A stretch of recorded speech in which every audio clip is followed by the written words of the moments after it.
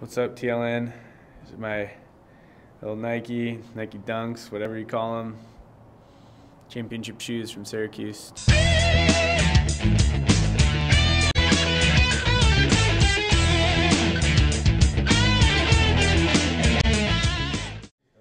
Yeah, these are Syracuse championship shoes, dude, from 2008. You know, like basically, I never really wore them, you know. I mean, they just they look sweet, but they're just not something you'd wear. And they've just been sitting in storage collecting dust, and finally today it's Friday, and like I figured, why not, dude? Yeah, why not? Why not? You know. These were awarded to us after we won the 2008 national championships. Beautiful game, beat Johns Hopkins. And yeah, yeah, Johnny Hopkins.